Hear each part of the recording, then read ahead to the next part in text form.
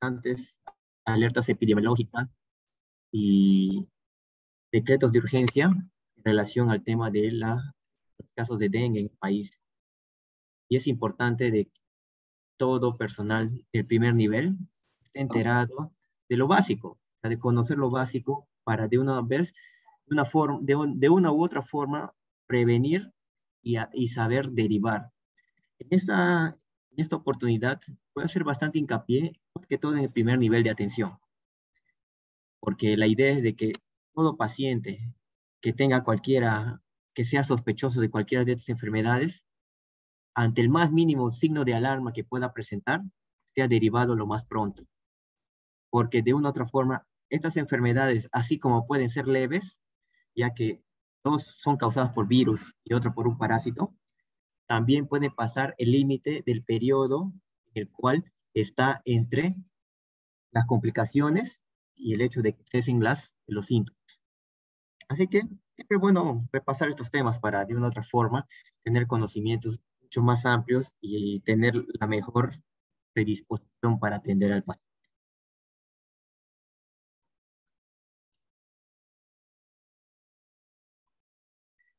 Tenemos que entender de que la fiebre, la fiebre es un síntoma muy característico de muchas enfermedades. Justamente el tema a tratar es uno de los principales, por, por, por no decirlo, el que debe aparecer para realmente tener la sospecha si, es que, si es que el paciente tiene la, eh, la enfermedad. Como pueden ver, fiebre, hay en dengue, fiebre. A ver, un audio, por favor. Como les decía, la fiebre es un síntoma que puede aparecer en muchos procesos infecciosos y es importante tener, digamos, capacidad de poder detectar. Al final, muchas de estas enfermedades pueden ser tratadas de la misma forma, pero sin embargo, de acuerdo a los procedimientos diagnósticos, es, la idea es dirigir a cuál es nuestra presunción diagnóstica para poder iniciar el tratamiento lo más pronto y evitar las complicaciones. La fiebre, la fiebre es parte de muchas enfermedades infecciosas. Pueden ver en el gráfico. El dengue tiene que tener fiebre, chikungunya, la virosis con fiebre, la leptospirosis. Eh, hay un, disculpen, hay un audio ahí. Por favor, cierren sus audios. La leptospirosis también es una bacteria que de otra forma cursa con fiebre. La malaria, parásito, también cursa por fiebre. Enfermedades inmunoprevenibles y así como las enfermedades respiratorias. Estas enfermedades en conjunto pueden eh, iniciarse con fiebre. Y de ahí es el pilar para de una otra forma orientarnos hacia qué enfermedad podemos hacer diagnóstico. Vamos a empezar con el dengue. El dengue, en relación a su detección y transmisión. El dengue es una enfermedad causada por un virus que es transmitida por la picadura del zancudo Aedes aegypti, que es el vector de este virus. Se presenta con diferentes, digamos, presentaciones clínicas y resultados impredecibles, justamente los que le mencionaba de que esta enfermedad puede ser leve, ¿ya? de alarma, y pasar, así como puede pasar el límite en donde pueden aparecer las complicaciones. La enfermedad es estacional y casi siempre se manifiesta en los meses cálidos. ¿ya? Mayormente, de una otra forma, hay una prevalencia en, en, climas tropicales. El clima es lluvia, sol, lluvia, sol, y los reservorios pueden ser propicios para que sus larvas puedan eh, crecer. Siempre es bueno conocer el ciclo de vida de la Aedes aegypti. ¿Por qué es importante esto? Porque de aquí van a ser las medidas preventivas. Muchos de nosotros podemos pensar, para prevenir el dengue, podemos tener como primera medida preventiva la fumigación. Pero la fumigación es un tema que solamente eh, elimina al, al zancudo adulto. Pero nuestra intención es conocer de que para que ese zancudo se vuelva una, en una etapa adulta, va desde crecimiento dentro de un reservorio de agua desde la forma de huevo. Y ese huevo va a crecer como una larva. Es ahí donde se tiene que instalar, digamos, las medidas preventivas. Porque si ellos, estos zancudos, estos vectores, no tienen el, el medio adecuado para reproducirse, de una u otra forma se va a disminuir los vectores.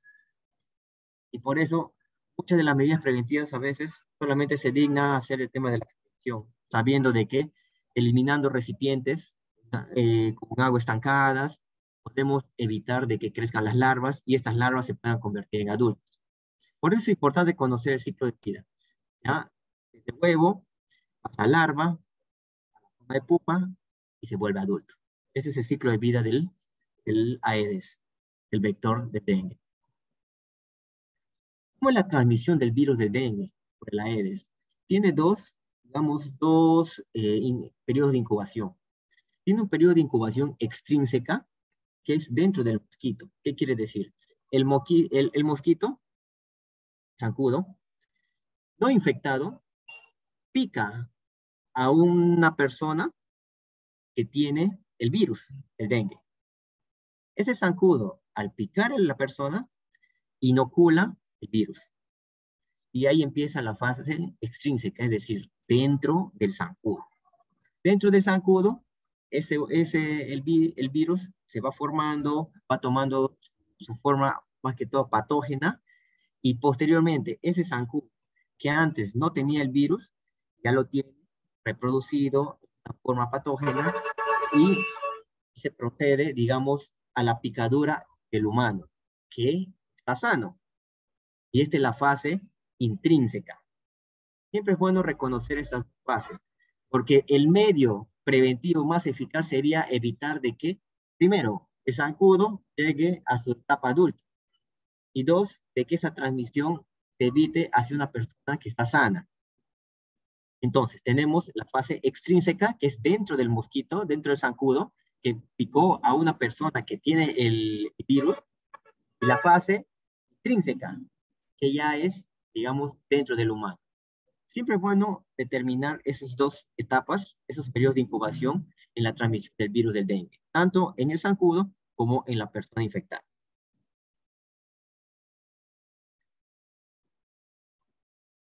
La atención de los pacientes con dengue. Es bueno recordar de que al atender pacientes con dengue no se necesita una tecnología avanzada, inclusive ni siquiera instalaciones de gran complejidad. Lo que más que todo se requiere es personal de salud sensibilizado y capacitado, es decir, el personal que sea idóneo para detectar inmediatamente. Un centro de salud de primer nivel puede ser capaz de detectar clínicamente porque la mayoría de los casos el diagnóstico del dengue es clínico y iniciar tratamiento de la forma más temprana, más precoz para evitar cualquier tipo de complicación. Eso es lo que se requiere se requiere de que el personal esté capacitado, que identifique estos síntomas, que tenga, digamos, la destreza para que inicie el tratamiento lo más precoz. Como decía, se requiere personal de salud sensibilizado y capacitado. Que la sospecha clínica sea oportuna.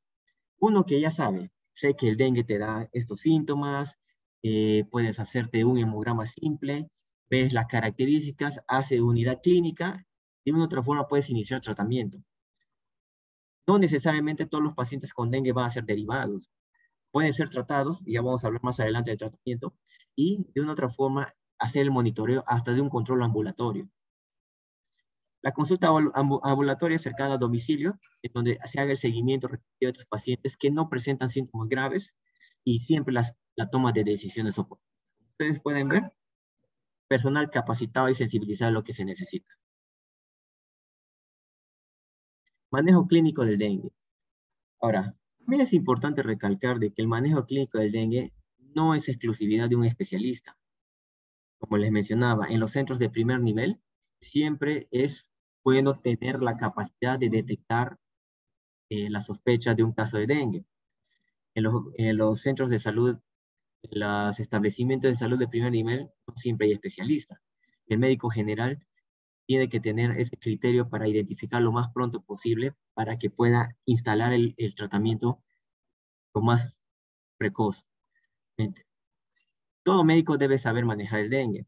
El primer nivel tiene el rol más importante en el manejo del dengue, no solamente desde el punto de vista terapéutico, sino que el primer nivel también tiene que entrar a tallar con las medidas preventivas, porque la idea es disminuir esa transmisión, la que, lo que les la transmisión del virus del dengue y se disminuye atacando, digamos, los reservorios para que no se desarrollen la forma adulta del AED.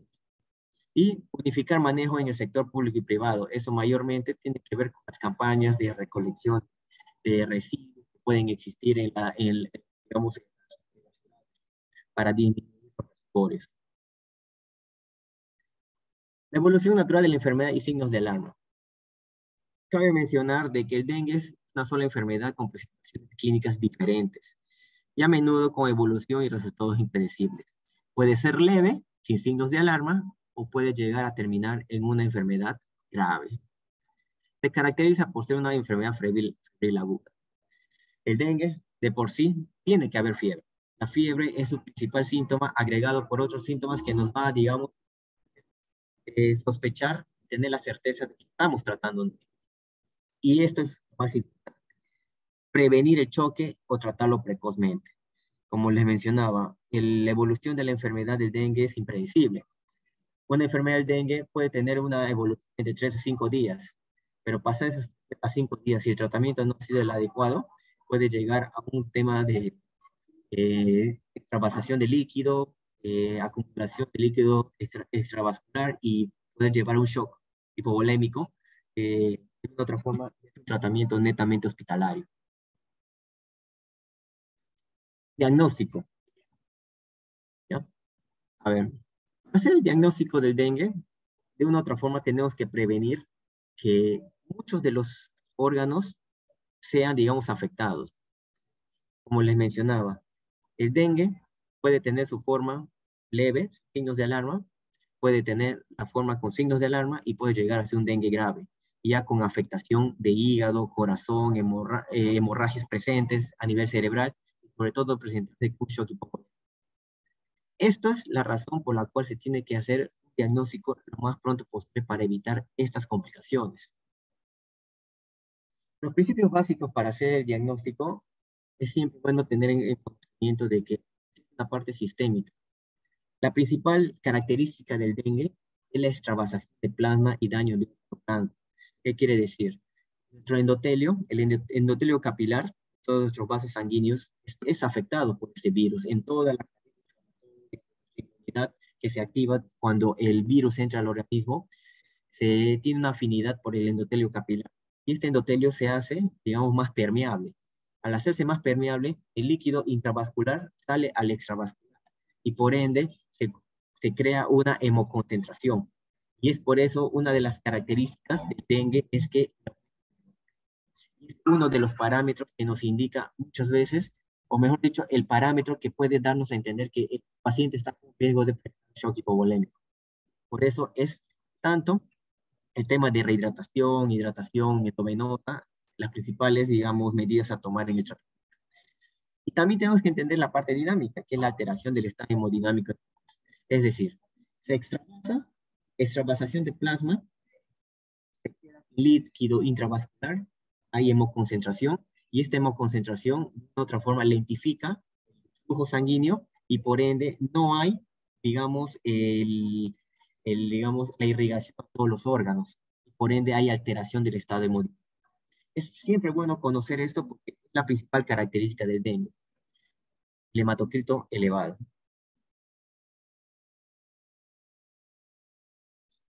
Bueno, los síntomas son característicos, eh, habrán escuchado, de que es importante tener en cuenta de que el Aedes no solamente transmite el dengue, es del grupo de arbovirosis que también puede ser eh, causante de otras enfermedades, como el Zika, el chikungunya. Estas tres enfermedades tienen el mismo vector. De una u otra forma, tienen casi las mismas características sintomatológicas, con ciertas, digamos, eh, diferencias, pero al final los tres tienen el mismo tratamiento. Y es importante siempre identificar para qué, para que no llegar a las complicaciones con el shock hipovolémico. El dengue se presenta con qué? Con fiebre, dolores de cabeza, el famoso dolor retroocular. Es muy característico ese dolor retroocular en los pacientes con dengue. El, salpu, el sarpullido, dolor en las articulaciones, dolor muscular. Todos estos pueden ser característicos también de otras enfermedades transmitidas por el Aedes, como mencioné, el Zika, el chikungunya. Pero de una otra forma, va a primar acá el tema, digamos, de eh, los otros apoyos diagnósticos que podemos tener para identificarlos, ya sea un laboratorio, serología u otros pruebas diagnósticas que estén al, al alcance del establecimiento de acuerdo a su nivel. Pero en este caso, es siempre tener como primera opción descartar el dengue. ¿Ya? Más que todo sabiendo de la epidemiología, del lugar donde es, quizás siempre es bueno preguntar al, paciente dónde ha estado, porque el dengue no es tan autóctono de ciertas zonas, pero sí puede ser llevado por personas que visitan zonas endémicas hacia zonas en donde el, virus y puede ser transmitido por el, por el, por el mosquito. Dentro del dengue hay una complicación. Tenemos el dengue de alarma, también el dengue de alarma, así como tenemos el dengue grave. Cuando hablamos de un dengue sin signos de alarma, eh, sobre todo eh, de personas que viven en áreas endémicas o han viajado a esas zonas, tienen fiebre, agregado con los siguientes criterios. Puede presentarse náuseas, vómitos, el exantema característico, que puede ser posterior a la resolución de la enfermedad, eh, las mialgias, las artralgias, petequias, el test positivo del torniquete y una de las primeras manifestaciones puede ser la leucopenia, inclusive antes de la plaquetopenia, porque la plaquetopenia ya nos puede indicar incluso una, eh, una complicación de la misma. Y se confirma por laboratorio, puede ser por PCR, cultivo, serología. El dengue, sin signos de alarma, con signos de alarma, va a presentar qué? Puede presentar dolor abdominal, vómitos, acumulación de líquidos, sobre todo el edema agudo de pulmón, que es muy característico, y así como la acumulación a nivel abdominal con la citis. Sangrado, sangrado de mucosas, hay irritabilidad, irritabilidad, hepatomegalia, y el laboratorio el aumento del hematocrito junto con la rápida caída de las. Como pueden ver, en los en el dengue sin signos de alarma son síntomas generales característicos. Primero puede empezar el tema de, las, de los glóbulos blancos bajos. Pero en el con signos de alarma ya, nos, ya nos, nos hace ver otras características en el laboratorio, que es va aumentando el hematocrito y va disminuyendo. Pero siempre teniendo en cuenta estos síntomas. Si un paciente empieza, tiene dolor abdominal agregado con los otros síntomas, téngalo por seguro que eso es de alarma los vómitos persistentes, las hemorragias, gingivorragias, petequias, inclusive hasta en mujeres puede ser por un tema del ciclo menstrual que puede ser aumentado. Esos sangrados, todos esos, esos síntomas, hay que tenerlos presentes para de una u otra forma saber derivar. Saber derivar, no llegar a la consecuencia del dengue grave. Si ustedes detectan prontamente estas, estos signos de alarma y derivan de la forma más rápida, ténganlos por el tratamiento va a ser. Pero si no, de otra forma, eh, ya llega a un tema del dengue grave. Y el dengue grave ya se caracteriza por escape importante de fluidos, como les mencioné. ¿Qué es lo que causa el virus del dengue? Extravasación del plasma, por daño en el endotelio. Esa es su principal causa. Es decir, el intravascular se queda sin líquido y el extravascular se queda llenar. ¿Dónde se empieza a llenar? Es característico en órganos como eh, el pulmón, a nivel, digamos, abdominal, en cualquier órgano sistémico. En el dengue grave, ya podemos hablar inclusive del tema de la acumulación de pulmón y lo que va a llevar a un tema de disney. Sangrado grave, según la evaluación, del, eh, evolución y evaluación de la, del profesional y de la misma enfermedad, cómo va a evolucionar. Y ya puede llegar a un tema de daño grave de las transaminas están elevadas, hay alteraciones neurológicas, se ve Por eso, de aquí es el punto de partida en donde todo clínico de primer nivel tiene que identificar estos síntomas y saber en qué momento referirlo más inmediatamente. Porque si dejamos pasar, esa, eh, esa acumulación de líquido extravascular puede conllevar a un tema, digamos, de complicaciones y hasta la muerte. ¿Ok? Bueno, signos de alarma, vómitos, dolor abdominal, sangrado, debilidad extrema. Dolor abdominal, que es lo más característico que pueden encontrar los pacientes.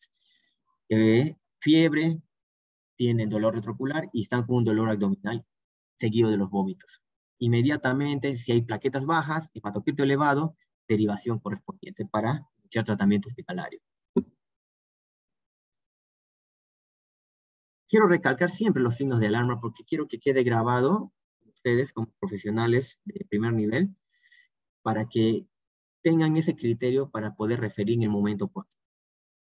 Si ustedes notan, les recalco, dolor abdominal intenso, sangrado de mucosas, somnolencia o estabilidad, vómitos, de líquidos, auscultan a nivel pulmonar, quizás eh, hay un edema agudo, el laboratorio con descenso de plaquetas y aumento de hematocrito, es el inicio de la fase crítica, donde uno tiene que derivar a un centro de mayor resolución.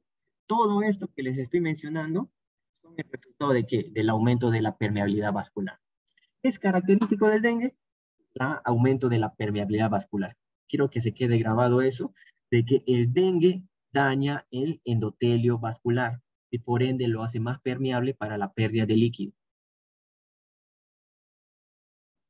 Acá este gráfico como les mostraba. Ustedes pueden ver de que esta es la circulación normal. El virus ataca el tema del endotelio capilar y lo hace más permeable. O sea, se pierde líquido del intravascular al extravascular. Y eso es la característica de la cual se pueden presentar los síntomas eh, de la forma de dengue grave. La acumulación de líquido extravascular en órganos. Les mencioné a nivel corazón, pulmón, que es lo más común, el edema del pulmón, a nivel abdominal, y por ende hay pérdida, digamos, de, de la irrigación normal de los órganos sistémicos. Puede llevar a una falla multiorgánica, y es que no se trata precozmente. Signos de alarma. Los signos de alarma que anuncian que el choque es inminente. Repasando, podemos ver. El dengue tiene un proceso, ¿ya? El curso de la enfermedad tiene una fase febril, como pueden ver, de durar entre tres, muchas veces hasta cinco días.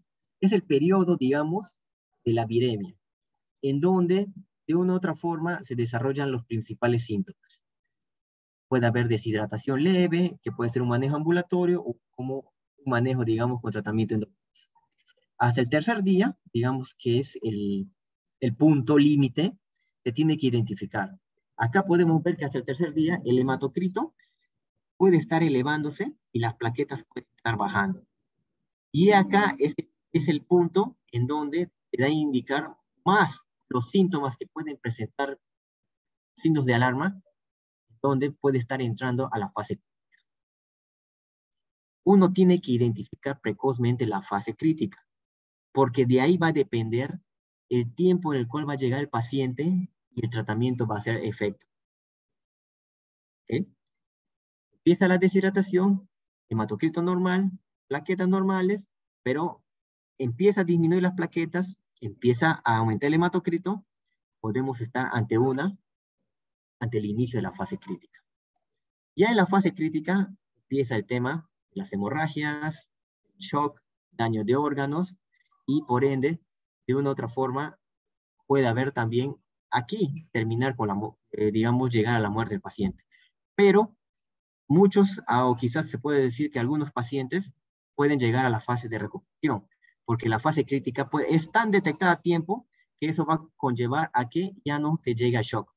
Y si no se llega a shock, ya llega hasta la fase, digamos, de recuperación en donde se reabsorben los líquidos las plaquetas suben.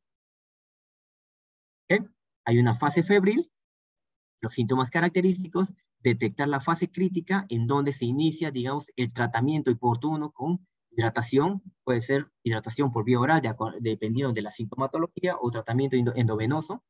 Y de eso va a depender, el inicio de ese tratamiento va a depender si el paciente o se choca o bien se recupera. Es importante siempre saber este periodo. ¿Para qué? Para saber iniciar prontamente un tratamiento. Febril, me mencionaban, es de fiebre alta, repentina, que puede ser bimodal, dura de 2 a 7 días, en promedio, ponerle 3, 4 días, y suele acompañarse de enrojecimiento facial, eritema, dolor corporal, mialgias, artralgias, cefalea, anorexia, náuseas, vómitos y dolor retroocular, que es muy característico de estos pacientes. Algunos pacientes refieren dolor de garganta y a nivel congestión, a nivel de faringe y conjuntiva. Por eso el diagnóstico diferencial con muchas otras enfermedades, inclusive hasta con leptospirosis. La primera anomalía en el hemograma, disminución progresiva de recuento total de glóbulos blancos, como les mencionaba. El dengue sin signos de alarma, antes que desciendan las plaquetas, descienden los glóbulos blancos, hay leucopenia.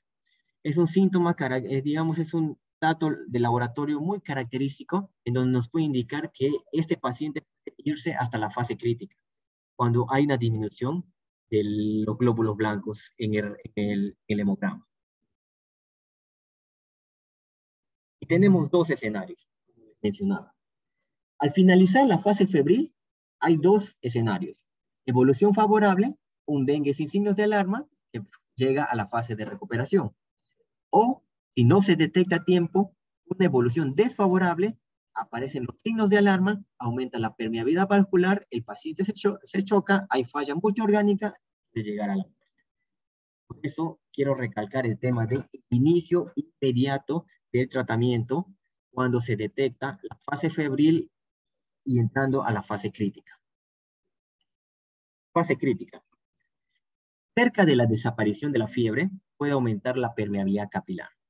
Es decir, la fiebre puede darse los primeros días de la fase febril, vale la redundancia, tres días de fiebre, disminuye la fiebre y es el momento en donde uno tiene que estar atento a los niveles del hematocrito. Si los niveles del hematocrito empiezan a elevarse con la disminución de las plaquetas, definitivamente es el, esto marca el comienzo de la fase crítica y es donde tenemos que actuar prontamente. La fase crítica dura entre 24 y 48 horas. Es decir, en dos días, si uno ha detectado a tiempo, en esos dos días, con la hidratación correspondiente y adecuada, el paciente puede pasar la fase recuperación.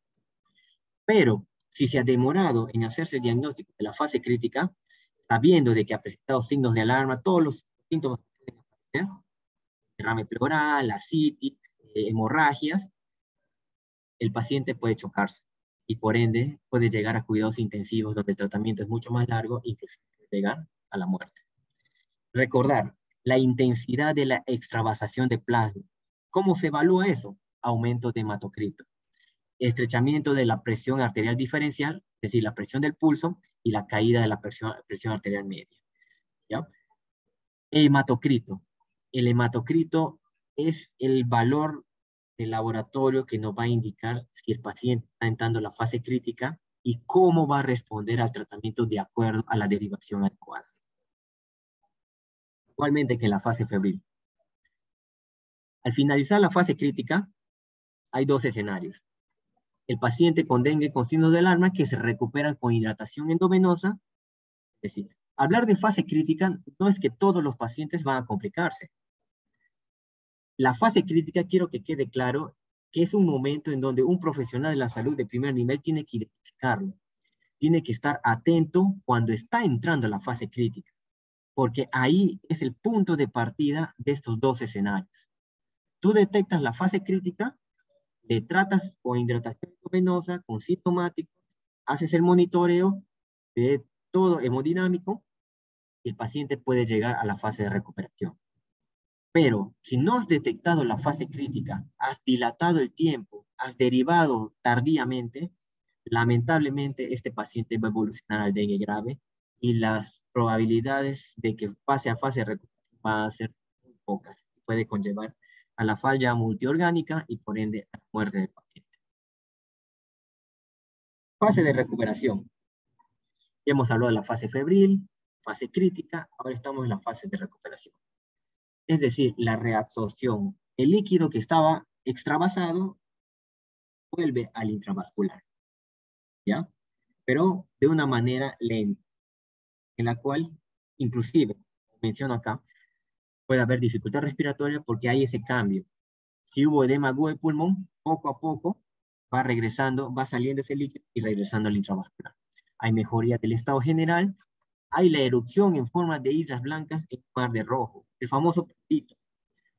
Ustedes habrán visto pacientes eh, con dengue que le has manifestado, doctor, he empezado una comezón, muchas veces la, la experiencia nos hace ver de que cuando aparece este prurito, justamente así las blancas, rojo, determinado como exantema, nos hace entender de que el paciente ya le ha dejado el dengue. Es la típica, digamos, expresión que muchos podemos decir porque es una característica. Y la mayoría de pacientes se puede decir que ha, presentado este producto generalizado ya en la fase de recuperación. Y por ende, muchas veces nos, nos da como un alivio porque ya pasó. Porque es importante detectar siempre las fases que acabo de mencionar. La bradicardia y las alteraciones electrocardiográficas son comunes durante esta, durante esta etapa. ¿Por qué? Porque todavía, como les mencionaba, hay una, en la fase crítica hay alteraciones de la presión arterial y por ende las eh, manifestaciones cardiológicas todavía van a estar de una manera mesurada, leve, pero van a estar presentes hasta que esto se vaya estabilizando. El hematocrito se estabiliza o disminuye. ¿ok? Esa es la idea. Que de la fase crítica pase esta fase de recuperación. Es importante la eh, derivación. El número de glóbulos blancos subir y la recuperación del número de plaquetas suele ser posterior a la de glóbulos blancos. En la fase febril bajan los glóbulos blancos, después las plaquetas, igualmente. Pero suben los glóbulos blancos y las plaquetas. Este es el clásico exantema. No sé si ustedes, digamos, han tenido algún tipo, digamos, de característica. De los presentes, ¿alguien ha tenido dengue? ¿O algún familiar con dengue? ¿O han tratado algún, algún paciente con dengue?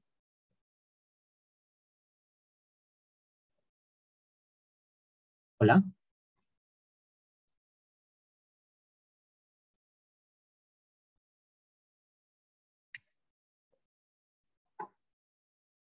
¿Alguien? ¿Ha visto esta característica, digamos, de la fase de recuperación del dengue? ¿El prurito posterior, digamos, a la enfermedad? ¿O, no? Buenas noches, sí, doctor, sí he visto yo varios casos. Sí, y bueno, el paciente te dice de que tiene una comezón por todo el cuerpo.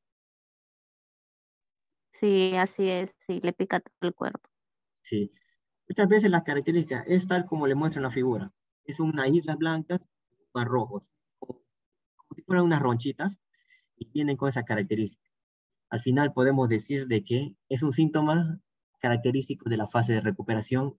Podemos, digamos, hasta sentir tranquilos porque ya le ha pasado la fase crítica. Tratamiento. Para hablar de tratamiento del dengue, tenemos que tener en cuenta tres grupos. ¿ok? El grupo A que es el dengue sin signos de alarma. Quiero que recuerden cuáles son los que, eh, digamos, los pacientes sin signos de alarma, que pueden ser en centros sin internamiento, puede ser nivel 1-1, 1-2, 1-3, ¿ya? Con manejo ambulatorio, con, digamos, con citas en las cuales se haga su control de hemotocrito plaquetas. Hay el grupo B1 y B2. El grupo 1 es el dengue sin signos de alarma, más afección asociado riesgo. Y bueno, y el grupo B2 son los que netamente son signos con signos de alarma. necesitan internamiento. Y el dengue grave, que de una u otra forma, eso sí no lo vas a tratar en un centro de salud. Tienes que tratar en un hospital, muchas veces tiene que llegar una, a una unidad de cuidados intensivos. Es un tratamiento mucho más especializado. Grupo A, manejo ambulatorio. Ustedes tienen un paciente con dengue ya le han identificado, tiene la fiebre, el dolor muscular, mialgias, artralgias, le hacen, digamos, eh, los característicos, ¿no? El hematocrito, el hemograma, sale con leucopenia, todavía no hay alteración de hematocrito eh, y plaquetas, pero si hay leucopenia, tiene que prenderse las alarmas. ¿Ok? ¿Qué les mencioné? Lo primero en aparecer muchas veces es la leucopenia, la disminución de los glóbulos blancos antes que la plaquetopenia o el hematocrito elevado.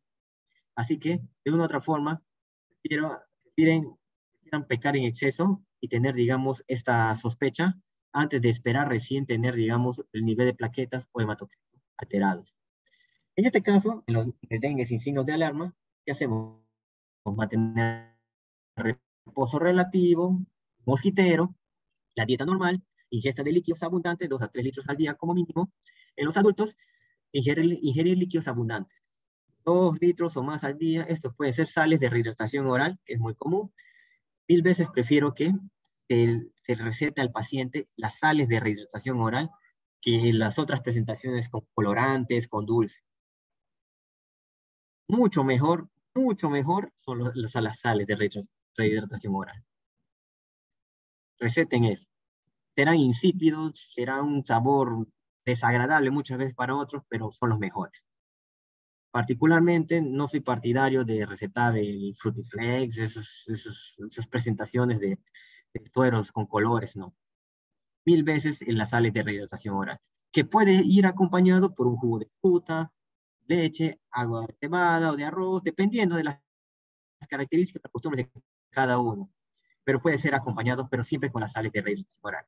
En los niños también abundantes líquidos, puede jugo, jugo de frutas, eh, leche, el suero oral también para ellos, las aguas de cebada u otros preparados líquidos característicos dependiendo de la zona. Hay que tener bastante en cuenta el hecho de que vayan a tomar tu líquido no quiere decir de que vayan a exceder, ¿ya? Siempre controlado, porque la ingesta, inclusive por vía oral, de excesivo líquido también puede conllevar a un tema de extravasación o complicación.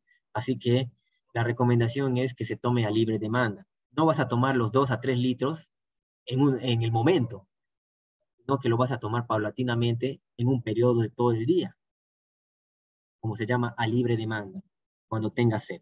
Siempre hay que tener cuidado con el ambulatorio de la fiebre. La fiebre, pacientes con dengue se debe priorizar medios físicos. Lo ideal es usar medios físicos. Siempre es ir desde lo más simple hasta lo más complejo. Si los medios físicos no te ayudan a controlar el dengue, ya puedes inclusive hacer un baño. Si con el baño no disminuye la temperatura, se procede a la prescripción de medicamentos. Se recomienda iniciar con paracetamol. Con paracetamol, ojo, hay que tener bastante cuidado con el paracetamol. Eh, quizás por costumbre, por el COVID, hemos quedado en el tema de un gramo. En el tema del COVID, siempre estamos gramo, un gramo. Y que recordar que paracetamol, ¿qué causa si se da en exceso? ¿Qué órgano eh, puede dañar. A ver. Dan paracetamol en exceso. ¿Qué órgano puede ser dañado con una intoxicación, con exceso de paracetamol? ¿Ven los presentes? El hígado. Claro, hay que tener. Y en el hígado, justamente, y el hígado puede ser una de las alteraciones que de los, signos de alarmas en el dengue. Así que hay que tener bastante cuidado. Y la idea es dar estas dosis, ¿no? Siempre la dosis mínima, preferible. Siempre la dosis mínima. Me preguntarán si se puede usar metamisol. El metamisol tiene que ser un plan B.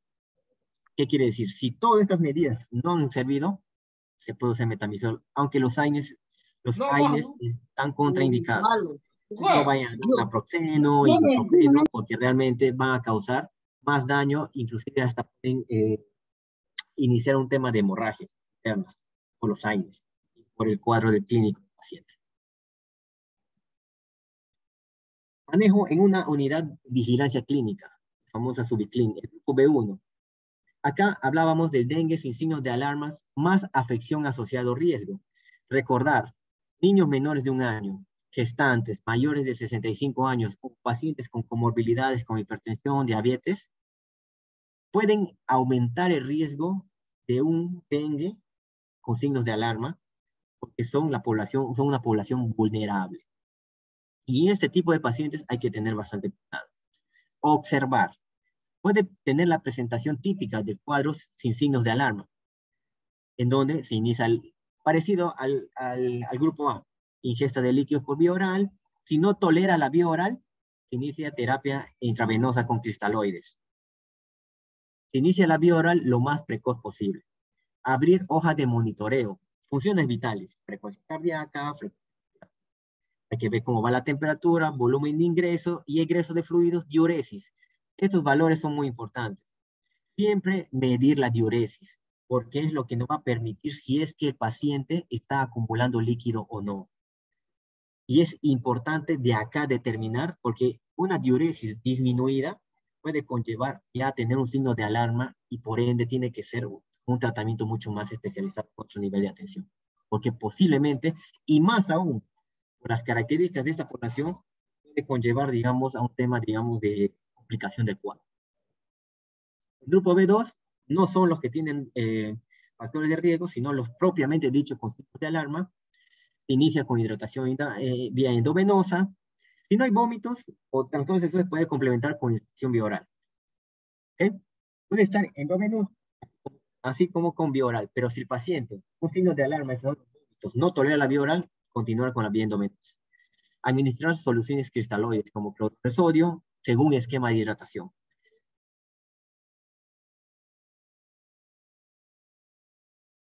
El grupo B2, tenemos los criterios de alta. Ustedes tienen ya pacientes, sean con factor de riesgo, que tengan de alarma. ¿Cuáles van a ser los criterios de alta? Primero, que desaparezcan progresivamente los síntomas de alarma.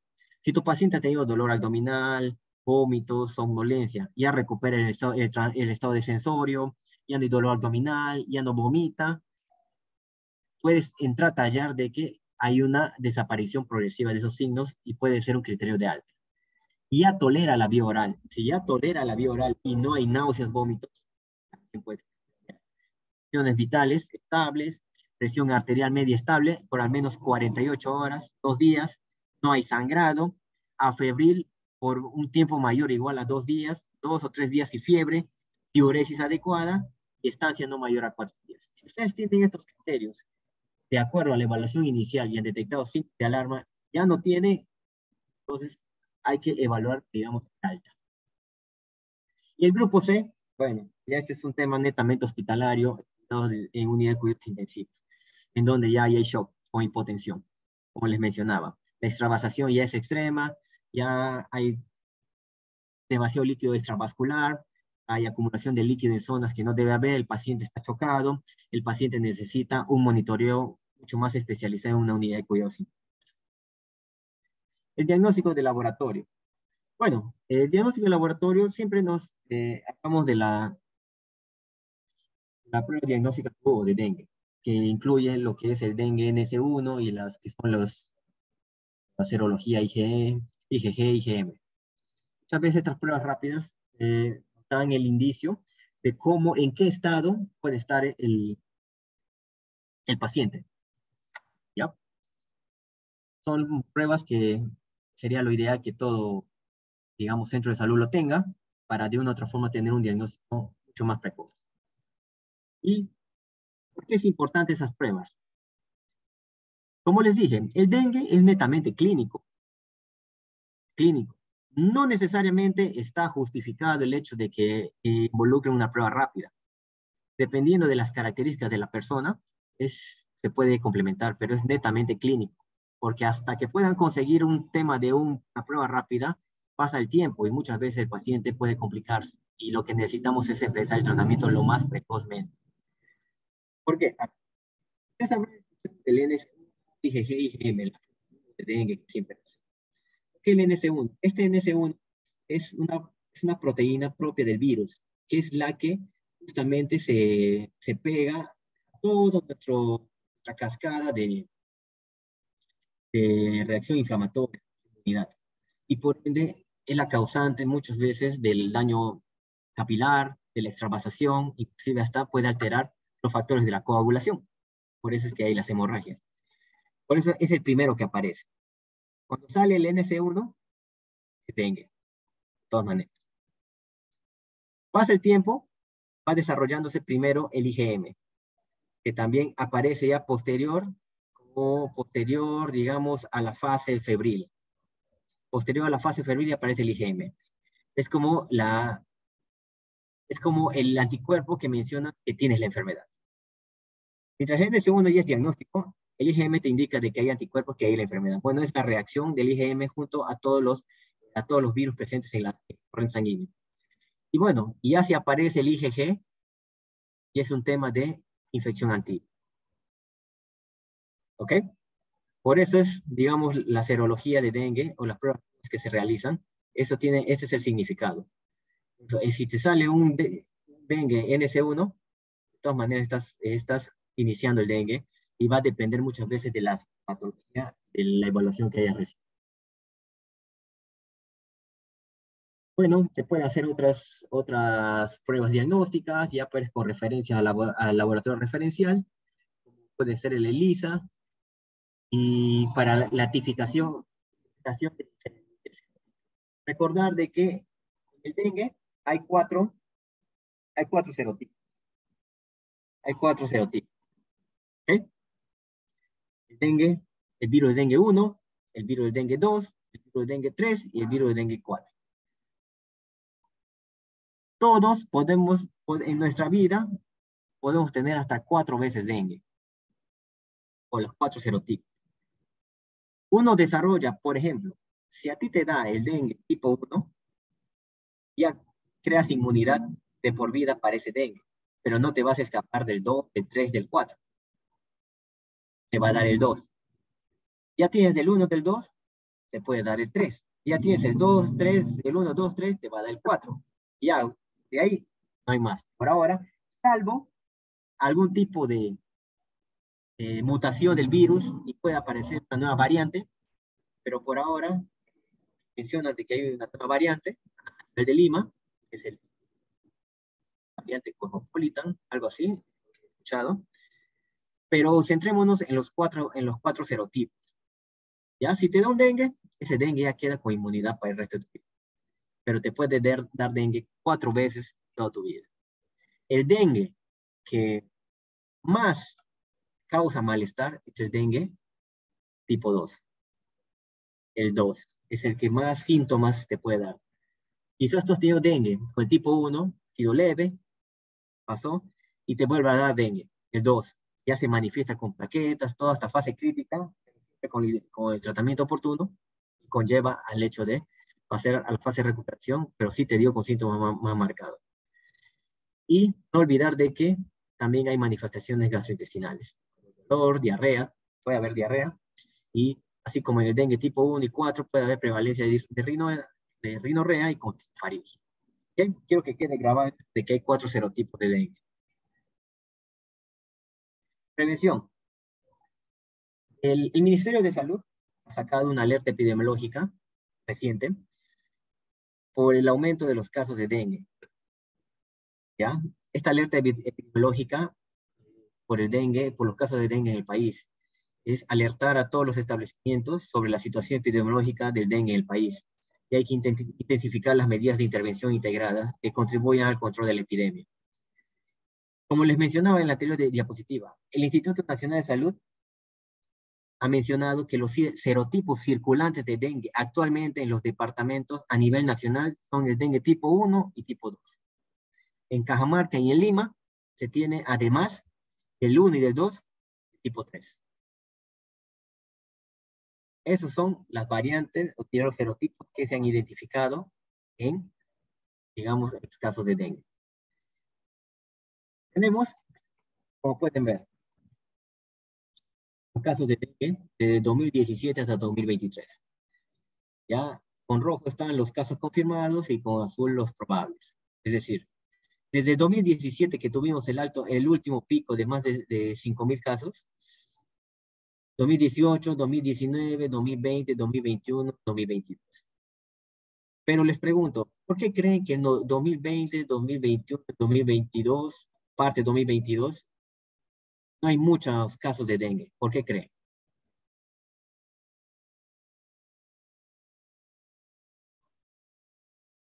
¿Alguien?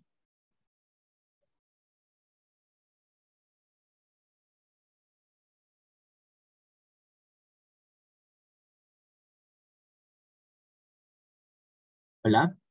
¿Alguien me puede decir por qué creen de que no ha habido mucho, muchos casos de dengue 2020, 2022.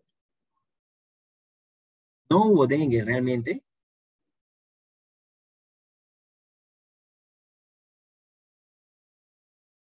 ¿Nadie? ¿Qué pasó en esas épocas, en esos años? Sí, hubo casos, sino que todo era COVID en ese tiempo. Claro. Y ya, si todo era COVID, ¿qué pasó con el dengue?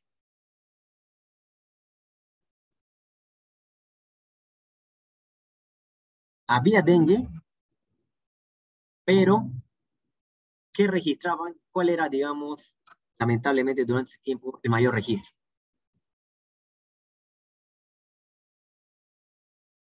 Los casos de ¿COVID? COVID. Ustedes han escuchado de la, de la, de la sindemia. La sindemia es, digamos, la presentación de COVID con dengue. ¿Han escuchado casos de COVID con dengue?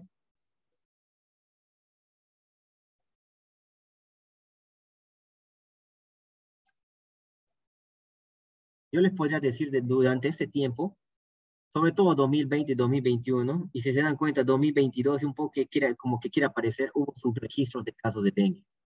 ¿Por qué? Porque nuestra prioridad era detectar los casos de COVID. Y muchos de esos casos de COVID tenían la presentación de tener la, eh, la presentación de COVID más dengue. Pero nosotros nos centrábamos en el tema del COVID, que muchas veces también va de la mano con el tratamiento, hidratación, sintomáticos, y habrán sido presentaciones de serotipos con manifestaciones clínicas leves, sin complicaciones. Pero nuestra prioridad era COVID. Por eso es que quizás no tanto se, se dio a conocer. Y mayormente se prevaleció. Y, y ahora que, de una otra forma, ven el pico en 2023, ¿cómo vamos? Ya sobrepasamos más de 10.000 casos. estos subregistros de una otra forma. Muchos de estos pacientes que han tenido dengue con COVID posiblemente se han vuelto a reinfectar con algún otro fenotipo y por eso en el 2023 ha nacido la alerta epidemiológica. Casos de dengue por departamento. Podemos identificar, ahorita por las noticias, cuál es el departamento que está siendo más afectado por el dengue.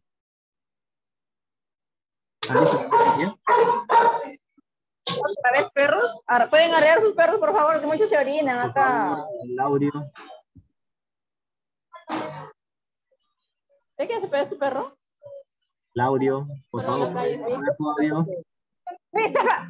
¿Qué pan? ¿Puede arrear sus perros, amiga? ¿Es usted? ¿Y qué hacen ahí todos? Raquel, tu audio, por favor. Oye, Safa, bebé. Safa. Raquel, tu audio. Oye, bebé.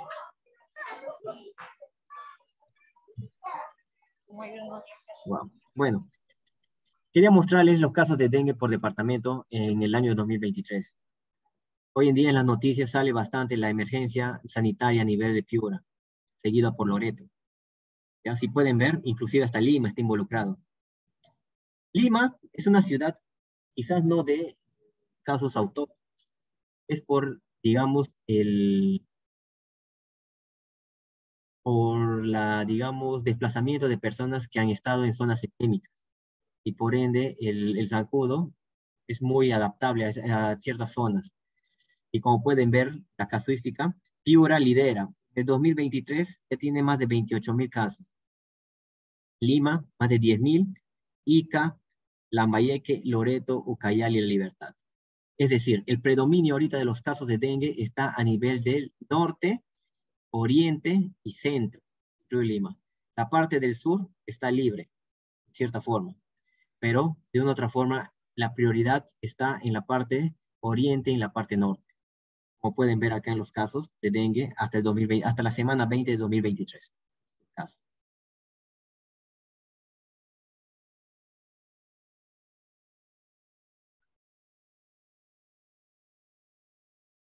Ya. Bueno. Ya hemos visto esto. Y la prevención. Hemos hablado de los síntomas clínicos y hemos hablado de, de la detección temprana, de los tipos de tratamiento, que sería bueno que lo ahonden con las guías de práctica clínica del Ministerio de Salud, Ya sabemos de que si llega un paciente hay que detectar en qué momento eh, está pasando la fase crítica para su tratamiento, derivación adecuada. Pero ¿qué es, la, qué es en cierta forma el principal eslabón para evitar transmisión de dengue? Es la estrategia de gestión integrada y la prevención. La prevención tiene que ser uno de los pilares fundamentales para evitar justamente transmisión. Como les mencionaba, muchas veces eh, hacemos hincapié en la fumigación, pero la fumigación solamente mata al zancudo. Y las larvas no mata larvas. Puede hacer matar zancudos adultos, pero las larvas recipientes. Por eso es que se hace la prevención. La vigilancia epidemiológica es primero, es una cuestión de identificar los casos, dónde está la zona en donde se presenta la mayoría de casos, donde puede detectar eh, factores de riesgo, poblaciones vulnerables, eh, digamos, en situaciones que pueden la proliferación de este, de este Detectar a tiempo justamente estas zonas epidémicas. La promoción, comunicación social, bueno, es un trabajo, digamos, en comunidad. digamos, los servicios de salud deben salir a comunidad a sensibilizar, capacitar en medidas preventivas, en, digamos, tapar los recipientes, botar recipientes que no sirvan donde se acumulen agua, mosquiteros.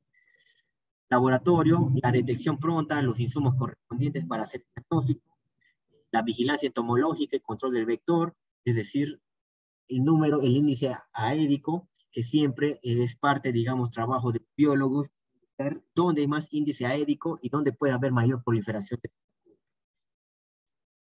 Dentro de, de, las medidas preventivas está la movilización comunitaria, control de los estadios inmaduros, o sea, de las larvas con insecticida, modificación del medio ambiente, depósitos de almacenamiento de agua bien protegidos, limpieza de canaletas, recojo de criaderos, neumáticos almacenados y cubiertos de lluvia es decir, todos los residuos sólidos que puedan acumular. Y esto es, digamos, práctica que tiene que instalarse entre la comunidad y los servicios de salud. La prevención de los hogares, con la eliminación de los criaderos, cada uno es responsable de ver en la zona donde vive si es que hay criaderos. Por eso es que hay la mayor proliferación en las zonas del norte y el oriente, porque es donde mayormente están pasando las lluvias. Y esas lluvias conllevan a acumulación de líquido, de agua, en recipientes que muchas veces tenemos en las huertas, en las calles, y puede conllevar al tema de proliferación del zancudo. Uso de mallas en ventanas y puertas es otra medida, y recipientes para almacenamiento de agua bien protegidos, es decir, tapados, como pueden ver. Control de criaderos y del vector adulto, control físico, aplicación de las ordenanzas sanitarias, casas, centros de trabajos, control químico, biológico de los que no se pueden eliminar, y bueno, aplicación de insecticidas. Equipos livianos y o pesados. Es decir, aquí entra a tallar también el tema de la fumigación. Pero como les mencionaba, esto es solamente para eliminación del vector adulto. Tenemos que hacer medidas preventivas para eliminar los criaderos. Y la protección personal mayormente dirigida al hecho de el uso de mosquiteros con impregnación de insecticidas. Principalmente la permitida, mayormente se usa en los mosquiteros para que no pueda propagarse. Recuerden de que el zancudo tiene dos fases, intrínseca y extrínseca. La extrínseca es cuando pica a un sujeto con el virus y el zancudo se infecta. Lo hace madurar, lo hace reproducir, ya le hace infectante para la persona. Eso es lo que se trata de evitar. Listo. Ahora pasamos al otro, a la enfermedad de chikungunya. Bueno, chikungunya, solamente para complementar, porque es casi las mismas características del dengue, se transmiten por el mismo vector, el mismo virus, de otra forma, es una enfermedad emergente, transmitida por mosquitos y causada por un alfavirus, el virus chikungunya. Esta enfermedad es transmitida principalmente por los mosquitos Aedes aegypti y Aedes albopictus, las mismas especies involucradas en la transmisión del dengue. Por eso tenemos las mismas características. Vectores. Bueno, existen dos vectores, que es el Aedes aegypti y el Aedes albopictus. ¿Eh? Periodo de incubación. El parecido, mejor dicho, casi dengue. Periodo de incubación extrínseco e intrínseco. Es decir, persona, humano, el virus, el mosquito, el mosquito le pica, adquiere, inocula el virus, y ese mosquito se va para picar a un humano sano. ¿Ya? Extrínseco dentro del mosquito y extrínseco dentro de la persona. Susceptibilidad, como se menciona en el dengue, las personas que son más susceptibles, vulnerables eh, para la adquisición, sobre todo niños, adultos mayores, y hay que, hay que resaltar bastante que el chikungunya tiene una predisposición para, digamos, para causar molestias, malestares, síntomas inquietantes. Los síntomas, la característica del chikungunya es, bueno, aparte de la fiebre, las poliartralgias son dolores articulares mucho más característicos que el dengue.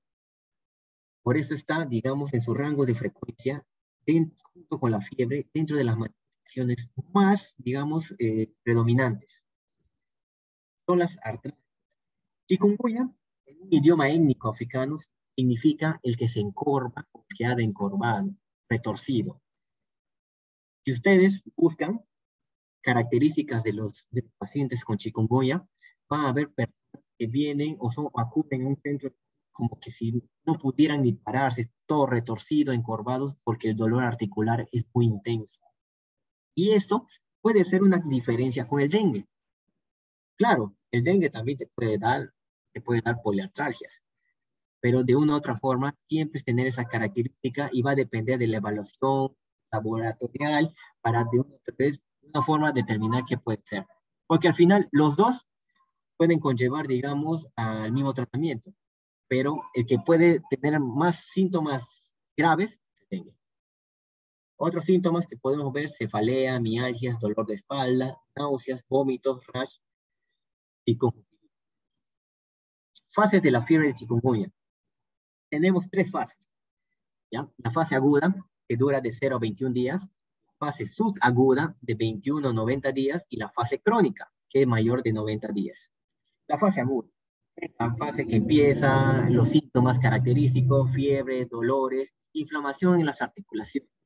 El chikungunya tiene una predisposición a las articulaciones de la muñeca y las articulaciones de los tobillos. Eso puede ser un síntoma característico porque afecta principalmente esas articulaciones. Claro, la articulación del codo, la rodilla, todas las articulaciones, pero hay un predominio de muñeca y de tobillo. ¿ya? Y, esta, y esta fase puede durar entre 7 a 10 días. La mayoría de veces se acompaña de un rash, también un eritema cutáneo. Y al inicio de la enfermedad, a diferencia que suele, eh, esta manifestación se produce generalmente al inicio. ¿Qué característica diferente con el dengue? ¿Se acuerdan? El dengue ¿En qué momento aparece la comezón o el exantema? Al final. Pero en el chikungunya puede iniciar. Hay síntomas característicos que uno tiene que identificar. La poliartralgia es más fuerte en el chikungunya, menos en el dengue, aparentemente. El exantema es al final en el dengue y al inicio del chikungunya. Esos síntomas nos pueden orientar muchas veces, pero sobre todo tiene que ser detectar el el diagnóstico epidemiológico, es decir, de la zona epidémica de donde venga el paciente. Presentación clínica, hay rash, edema en rostros, hay poliartritis, edematosa en, en manos, mencionaba, en las muñecas, que palidece con la presión, eh, exantema, y le apretas y se puede hacer blanco. Como que lo que está rojo se hace blanco, le hace una digitopresión. Hay yazón periarticular y derrame en rodillas, articulaciones, principal característica del chikungunya. La fase tuca aguda. ¿ya? En la fase aguda, febril. En la fase tuca aguda, del 20 al 40% de los casos pueden pasar esta fase que puede durar hasta tres meses.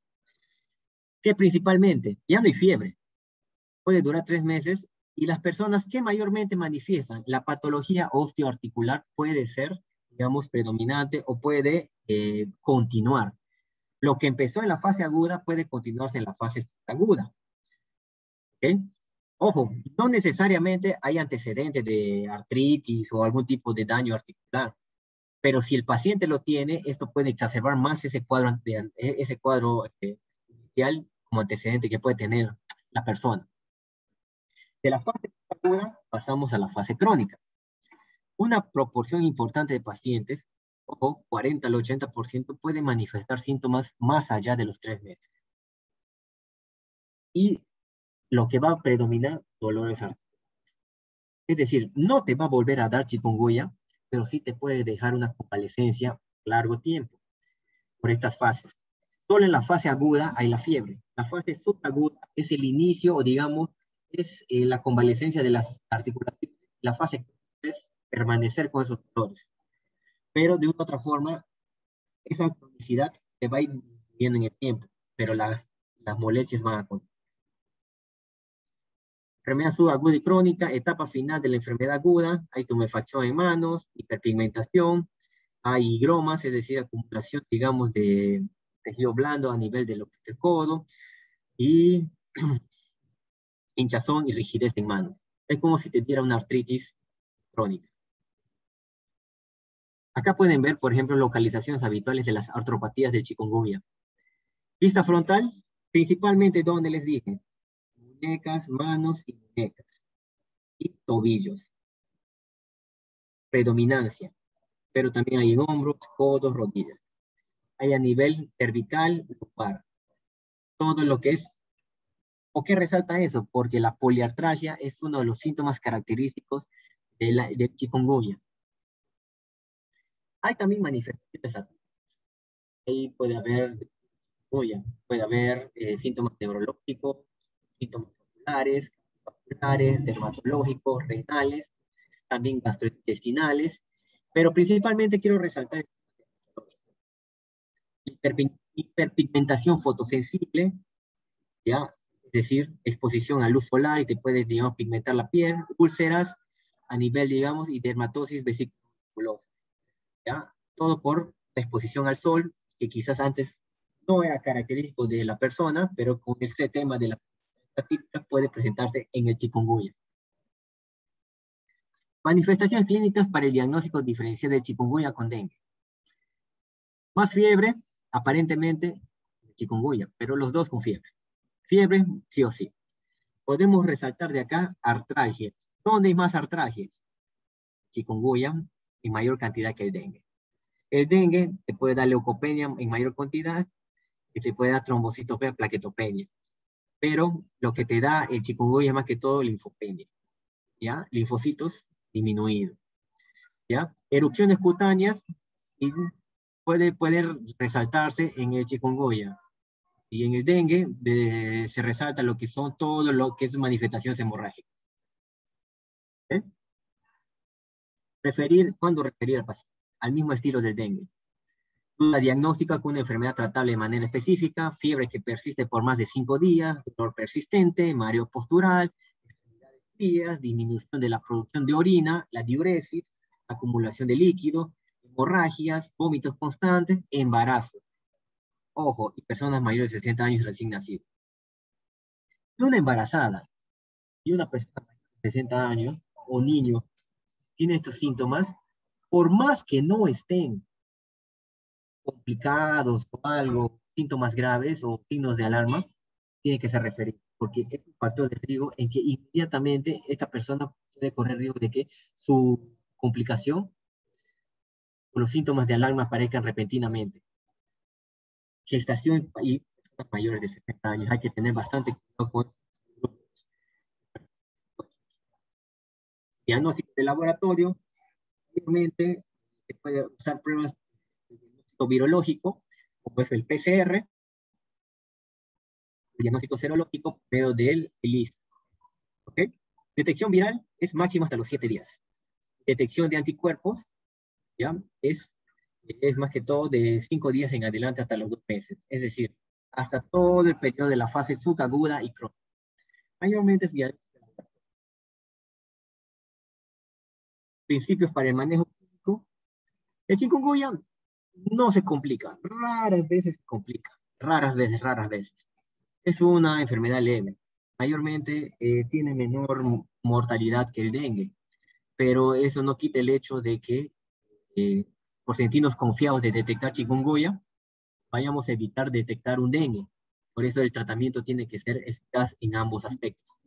El tratamiento sintomático, paracetamol, para el tema, digamos, de las, para la fiebre, se pueden usar otros analgésicos como los AINES. Otros analgésicos, entre AINES que se pueden usar es el metamizol, siempre y cuando las primeras medidas, medios físicos, baños, paracetamol, haya surtido efecto, se puede usar el durante la etapa aguda de la enfermedad, los esteroides, los esteroides no están, digamos, eh, indicados y evitar la aspirina. Se recomienda en las formas leves eh, hacer ejercicios, terapia en la fase de recuperación. Pero principalmente que te deja el chikungunya, dolores articulares y por ende puede llegar a una fase, digamos, de terapia física para mejorar la articulación debe instituirse tratamiento en todos los casos sin esperar la confirmación. Les vuelvo a repetir. Si ustedes sospechan chikungunya, no vayan a dejar de lado el dengue. Está bien que el chikungunya no, deje, no tenga una alta mortalidad, pero hay que tener cuidado de que esté agregado tema de dengue. Cosa de que los síntomas pueden ser parecidos y al final tenemos que tener el mismo criterio clínico para ambos. Durante una epidemia no es necesario que se realicen pruebas virológicas, no es necesario, todo es clínico, todos los casos sospechosos deben mantenerse bajo mosquiteros. Casi todos, digamos, las medidas preventivas son parecidas al del dengue. ¿Ya? Eliminar los, los residuos que acumulen agua, mosquiteros, mallas, eh, la sensibilización a la comunidad, intervención comunidad, municipalidades y servicios de salud para disminuir la propagación del, del, zancudo que transmite el virus. Como les mencionaba, el chikungunya sí tiene efectos sobre el embarazo parece tener una repercusión directa. Hay notificación de abortos espontáneos y hay transmisión materno-infantil en el periodo perinatal. Esa es la característica, digamos, del chikungunya. Efectos sobre el recién nacido. Las madres que logran contraer el chikungunya pueden transmitir la, la fiebre chikungunya a sus recién nacidos mediante transmisión vertical. La cesárea no, no disminuye esta transmisión. Y la fiebre chikungunya neonatal está caracterizada por fiebre, inapetencia, dolor, edema, convulsiones, hasta puede llegar a síntomas neurológicos, así como síntomas ecocardiográficos. O sea, la relación de chikungunya con el embarazo y con los recién nacidos, y es muy, digamos, importante tenerlo en cuenta. Bueno, eh, como medidas preventivas, volver a repetir, el uso de mosquiteros, la fumigación, eh, eliminar reservorios, eh, mosquiteros como sequicidas, eh, impregnados para de todas maneras no se queden, digamos, pegados ahí los zancudos, la comunicación con la sociedad, con la comunidad, las municipalidades, para hacer las campañas de recolección de residuos. El tratamiento, no existe ningún tratamiento específico, el tratamiento consiste en aliviar los síntomas. Es un tema sintomático. Les repito, el chikungunya, su mortalidad es bien baja, a, diferencia de Y la prevención, repelentes, eh, utilizar mosquiteros, eliminar los criaderos, lavar, lavar tanques, las albercas de agua, mantener tapados todos los recipientes que almacenan agua y recolectar las basuras. Son más que todo medidas preventivas generales, ya que tanto el dengue como el chikungunya son transmitidos por el mismo vector, por un zancudo que, aparece a partir de una larva. Bueno, ahora continúo con malaria. La malaria tiene un vector, ya diferente al chikungunya y al, dengue, el anófel. Pero de una otra forma tiene el mismo ciclo de crecimiento, ciclo biológico. Es decir, hay una larva ya será, digamos, el diferente sector, pero tiene el mismo crecimiento. ¿Ok? De huevos, a larva, pupa y el adulto. Ya, eso es para empezar. Hasta el 2022, ustedes pueden ver la, propagación de los casos de malaria. Malaria sí es una enfermedad muy endémica de la zona de la selva, de la selva. O sea, es bien difícil que eso se propague hacia la costa, hacia el sur. Es netamente eh, conocido que la prevalencia de malaria es mayormente a, diferencia del dengue, que sí puede tener casos, eh, derivados de personas que pueden viajar a zonas endémicas y volver a su sitio de origen. Los tipos de malaria, ah, el Plasmodium falciparum, eh, puede ser por Plasmodium vivax, Plasmodium ovale, Plasmodium malariae, malariae y el Plasmodium knowlesi. Todos son parásitos. El periodo de incubación es el lapso que media entre la picadura del mosquito y de los síntomas. Para cada uno de los tipos de, mal, de, parásito va a depender su periodo de incubación. Con el falciparum es entre 7 a 14 días. Con el lo vale es de 8 a 14. Y con el malariae es de 7 a 30 días. Manifestaciones clínicas. Las características clínicas dependen, uno, de la especie del parásito. A veces Vivax, Falciparum pueden tener manifestaciones diferentes, pero son raras veces en las cuales podemos diferenciarles. Por eso mayormente la característica clínica de la malaria tiene que ser unificado de forma general. Va a depender de la concentración de parásitos asexuales en sangre, o sea, la parasitemia y el estado inmunitario del huésped. Principalmente, ¿qué hay? Fiebre, malestar general, dolor de cabeza, dolor de articulaciones, debilidad, sudoración, casi parecidos a los de las otras enfermedades que hemos hablado. Pero aquí es lo que mayormente se identifica la fiebre quebrantahueso, o sea, el famoso, lo que llamamos aquí en la región Loreto, chirichiri. Es una fiebre que te hace un escalofrío que te hace temblar, temblar tanto, sientes como que te va a quebrar los huesos. Es la característica de la malaria. Las manifestaciones clínicas por sobre todo casos, la fiebre. Tenemos por Plasmodium vivax terciana. Terciana es cada tres días. La característica clínica del de la malaria, disculpen, de que te da fiebre hoy día, desaparece tres días y a los tres días otra vez te da fiebre. Y así sucesivamente. Es la famosa fiebre terciana. Y es la más característica, la fiebre terciana. Fiebre te da hoy día, desaparece tres días y te vuelve a aparecer en tres días. Es por eso que también a la, a la malaria se le, se le conoce como terciana. Síntomas de la malaria pues, son síntomas generales, pero mayormente los escalofríos son característicos de eso, junto con la fiebre. Puede haber fiebre, eh, puede haber dolor de cabeza, fatiga, sudoración, vómitos, dolor de espalda, dolor muscular. Síntomas generales como toda eh, enfermedad. Hay que tener en cuenta criterios de gravedad. ¿Okay? como la malaria también es una enfermedad que tiene una fase en donde se le debe tratar, o sea, se le debe identificar por medio de inmediatamente, por medio de la gota gruesa. Es importante también eh, identificar criterios de gravedad. Si tu paciente no puede caminar, tiene incapacidad para alimentarse, cualquier tipo de trastorno del sensorio, hay convulsiones, hay edema agudo, la diuresis está alterada, hay hipoglicemia, anemia, hay hiperparasitemia, diagnosticada por laboratorio, hay ictericia, hipotensión, eh, hiperpirexia, o sea, una fiebre mucho más alta, hay recuento plaquetario bajo, sangrados. Tenemos que tener cuidado para hacer la derivación correspondiente, porque estos pacientes no pueden ser tratados de primer nivel, sino en un centro de mayor Diagnóstico. El diagnóstico de la malaria mayormente son diagnósticos clínicos epidemiológicos. Los clínicos es por la fiebre, los paroxismos de escalofríos, ojo, escalofríos, los episodios de escalofríos intensos, fiebre y sudoración profusa. Hay síntomas generales como cefalea, síntomas gastrointestinales, esplenomegalia, anemia y evidencia de manifestación severa o complicaciones de paludismo de malaria por falcíparo, plasmodio falcíparo, es la principal, digamos, eh, el principal parásito que te causa mayor eh, la malaria grave, el plasmodium falciparum.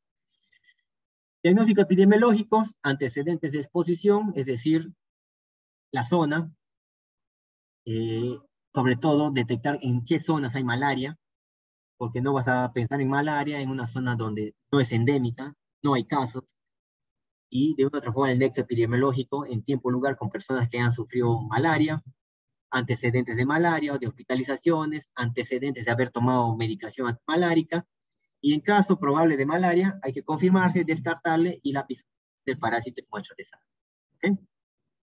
Laboratorio. Se puede hacer por dos, por dos medios. Microscopía, la más común, la gota gruesa, y también el extendido de sangre periférica. La gota gruesa es para identificar el tema de los trofozoides esquitontes y los gametocitos, que más adelante vamos a explicar. Y la prueba rápida, bueno, de todas maneras, poco usado, mayormente se usa el tema de microscopía, y regularmente da resultados negativos en parasitemas inferiores a, a 200 parásitos por microlitro. ¿okay? Es más que todo para detectar antígeno de parásito y identificar lo que es la lactato deshidrogenasa parasitaria. La principal, el principal medio diagnóstico por laboratorio es la gota gruesa y el estudio de sangre periférica. Ahora, con esta introducción, lo que yo quiero hacer es, digamos, explicarles los objetivos de tratamiento de malaria sintomática. A ver, ¿para qué? Primero, el objetivo de la malaria tiene un paciente con malaria. ¿okay? ¿Para qué se da el tratamiento? Primero, para interrumpir las formas asexuadas en la sangre. Destrucción de las formas latentes en el hígado. Interrupción de la transmisión. La acción que necesitamos tener es que tratar que el diagnóstico, el tratamiento se realice cuatro horas desde el inicio de los signos. O sea, lo más inmediato posible. Tratamientos eficaces, adherencia al tratamiento y accesibilidad a los medicamentos. Recomendación de la OMS para eh, malaria no complicada, viva, hay un tratamiento combinado. Cloroquina más primaquina.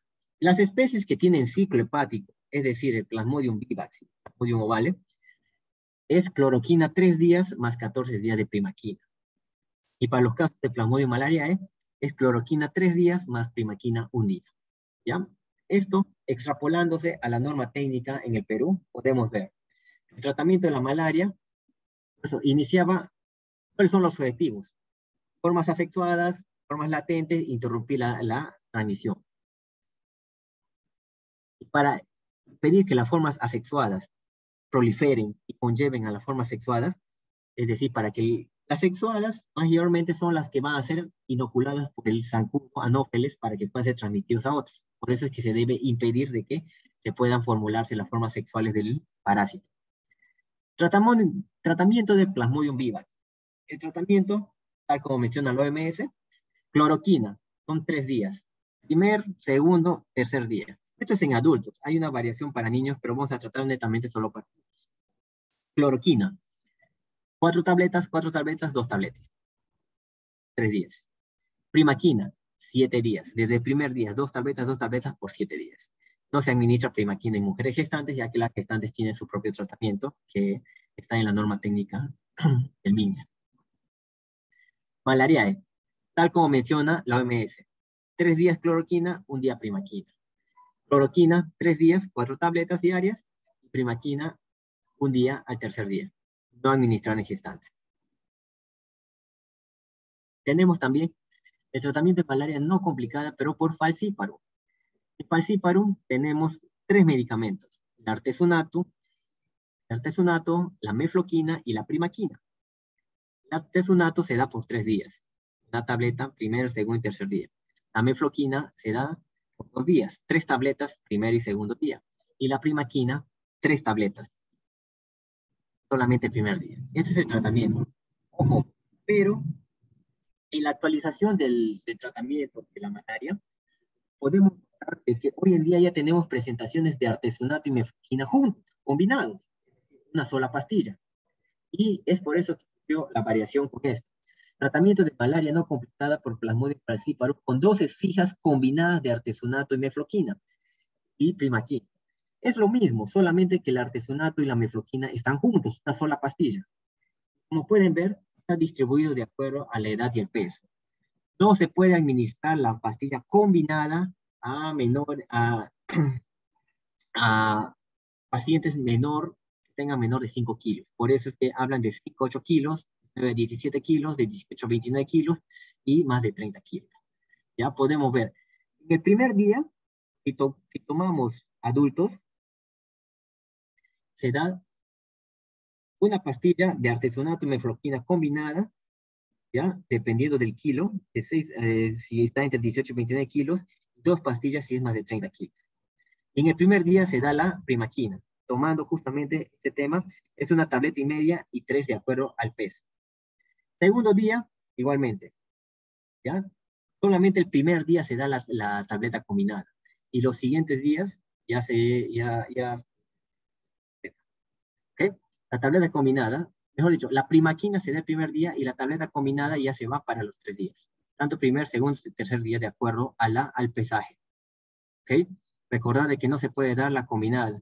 Si hay niños menores de 5 años, se tiene que usar el método de las pastillas. Pero en el método, en el tratamiento actualizado por las dosis fijas combinadas, se puede dar de acuerdo al pesaje por los días que manda la norma, que son tres días. Lo que nace con unas, eh, este tratamiento nos hace preguntarnos muchas cosas. El tratamiento eh, no siempre va a ser eficaz. No es la cura radical, la malaria. ¿Ya? Y por eso tenemos que tener en cuenta de que hoy en día están naciendo digamos, nuevos antimaláricos para poder, digamos, combinar una forma muy olvidada por los, hasta por los especialistas, los infectólogos, el ignosoito, el famoso ignosoito. Ahorita les voy a explicar qué es. Pero de todos los problemas que podemos ver para que el tratamiento de la malaria viva pueda hacer efecto, tenemos que eh, indagar en que hay baja adherencia al tratamiento de cloroquina primaquina, porque el, tratamiento tiene que ser supervisado, y muchas veces se le da al paciente y ellos no cumplen. No se está digamos, la cura radical de la malaria, porque hay, un, hay una forma del virus, del parásito, que está oculto. El parásito está oculto en nuestro hígado por mucho tiempo. No es enfermedad, pero está oculto, pero puede hacer las famosas recaídas. Y puede también aparecer problemas como la resistencia a la cloroquina y el manejo de portadores asintomáticos. Eso es lo que quería explicar.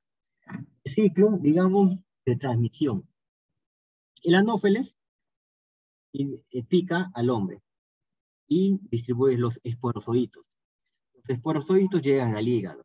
Los esporozoitos, ya, de una otra forma, se forman en merozoitos pero hay una forma de estos esporozoitos que se quedan ocultos. Aquí están los hipnozoitos. Estos hipnozoitos se quedan latentes en el cuerpo sin causar enfermedad. Pero ¿qué pasa?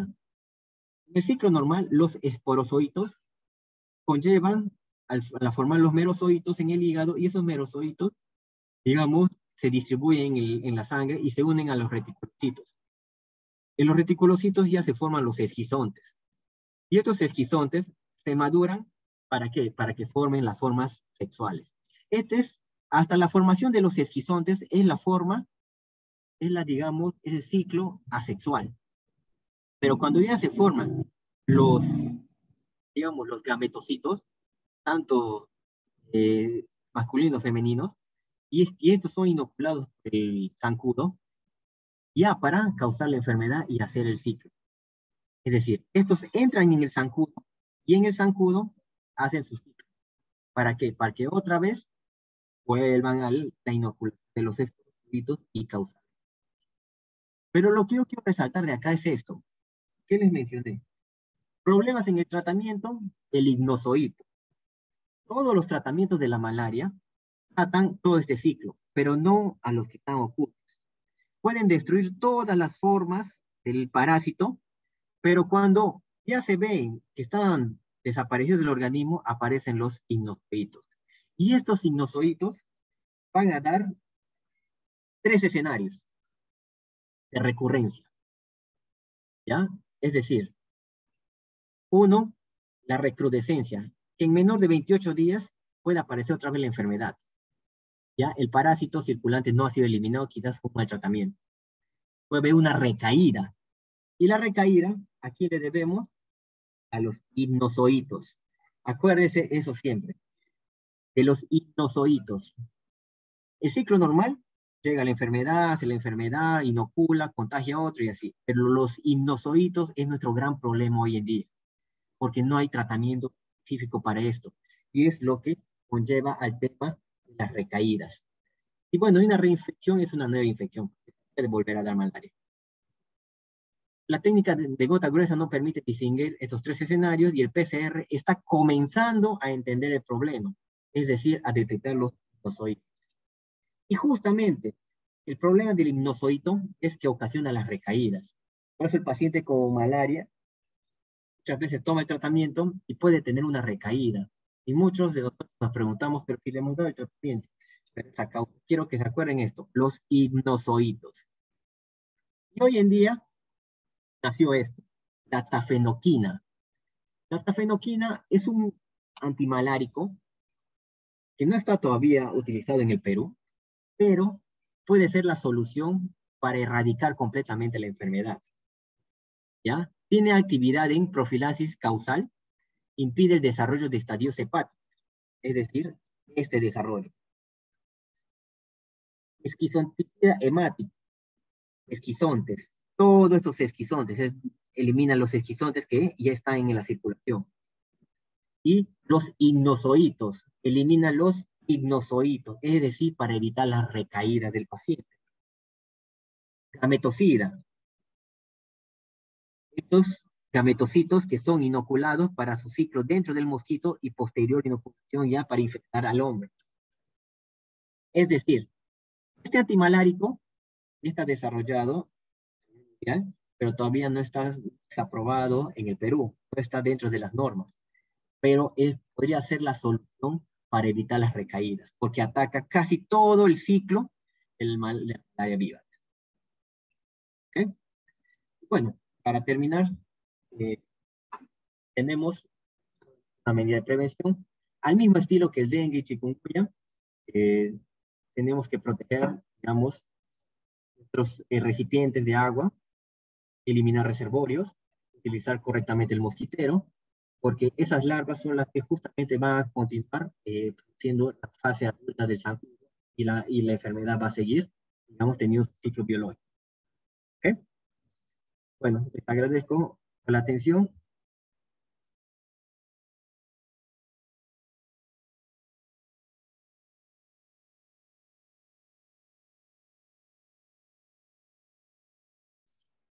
¿Tienen alguna pregunta?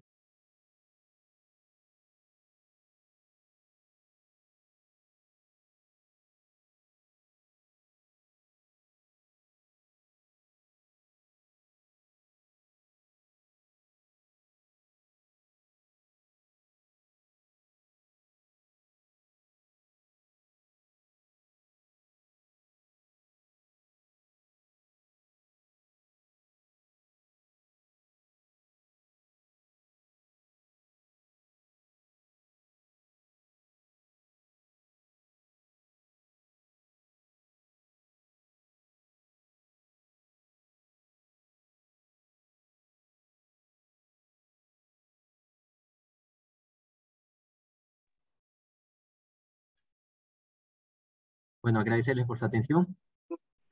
recordarles que estamos en una emergencia sanitaria y hay que tener, digamos, las medidas preventivas siempre, tal cual los mencioné. ¿Ok? Muchas gracias.